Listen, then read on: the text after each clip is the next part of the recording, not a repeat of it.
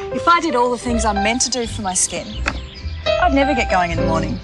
Pond's Daily Moisturising Lotion combines SPF 15 plus protection with vitamins in a light, hydrating lotion.